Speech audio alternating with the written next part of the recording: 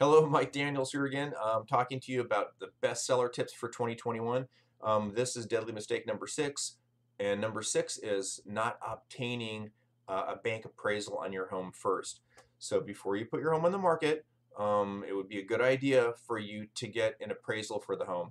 Um, what if uh, you know you were you know you sold your home for a million two hundred fifty thousand dollars and the buyers turned around and put it right back on the market for a million four hundred fifty thousand dollars. Um, that could happen. You know, that could really happen. I mean, it would really hurt um, to lose out on two hundred thousand dollars. Now, obviously, that's a hypothetical situation, but I've seen it happen before.